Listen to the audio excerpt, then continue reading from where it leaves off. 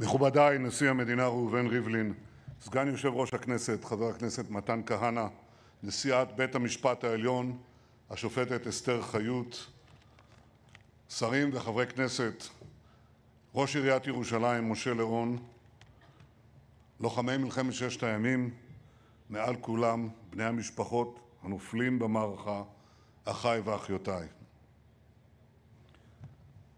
ביום ירושלים זה אנו במאבק שמתפרס על פני כמה חזיתות, בירושלים, בעזה, במקומות אחרים בארץ.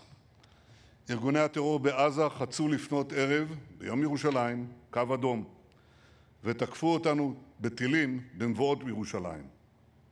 ישראל תגיב בעוצמה רבה.